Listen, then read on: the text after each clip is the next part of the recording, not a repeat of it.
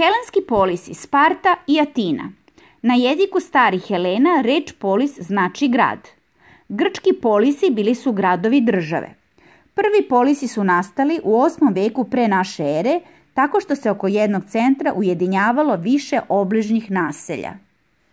Sparta se nalazila na jugu poluostrva Peloponeza. Više okolnih seoskih naselja se u 10. veku pre naše ere udružilo u veću zajednicu i napravilo Dorski polis. U 6. veku pre naše ere oni su ostvarili prevlast nad ostalim polisima na Peloponezu.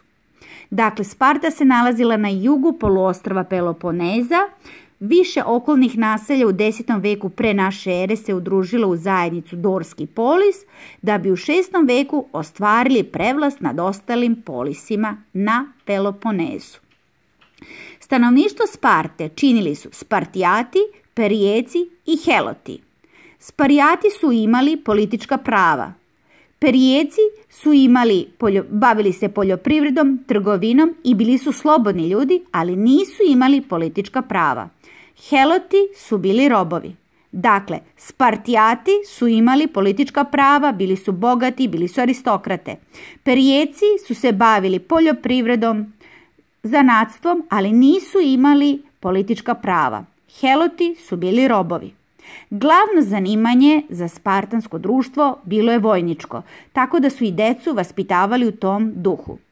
Uređenje je bilo aristokratsko i podrazumevalo je dva bazileusa, dva kralja, dva kralja Bazileusa, Geruziju, to je veće staraca, i Apelu, narodnu skupštinu. Dakle, Geruzija, Apela i dva Bazileusa. Atina je bila 200 km severoistočno od Sparte. Antička Atina, najznačajniji jonski polis. Stanovništvo Atinskog polisa sačinjavali su aristokrate, eupatridi, slobodni ljudi demos i robovi. Atinjani su svake godine iz redova eupatrida birali devetoricu arhonata koji su vodili državu. Pripadnici demosa bili su isključeni iz političkog života i zahtevali su da se takvo stanje promeni. Početkom 6. veka pre naše ere zakonodavac Solon omogućuje da i bogati pripadnici demosa mogu da učestvuju u upravljanju državom, a siromašnima su ukinuti dugovi i mogućnost da zbog duga izgube ličnu slobodu. Na početku 5. veka pre naše ere u Atini je uspostavljena demokratija, poredak u kome vlast pripada većini, to jest narodu. Svi punoletni slobodni Atinjani muškog pola činili su Narodnu skupštinu. Sredinom 5. veka pre naše ere, demokratska Atina postala je najmoćniji i najbogatiji polis u čitavoj Heladi. Bilo je to njeno zlatno doba ili Periklovo doba, nazvano po velikom državnicu Periklu.